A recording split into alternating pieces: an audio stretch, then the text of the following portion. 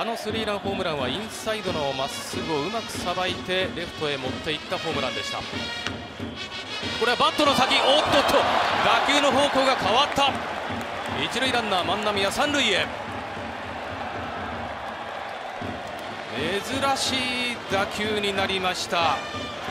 野村のヒット。野村は今日3本目のヒット。完全にバットの先。これ急に打球の方向が変わりました。いやここまで打球が変わったらさすがに山口も対応できないですよね。そうですね。打球の角度からすればそのままファールになるという球筋でしたから、はい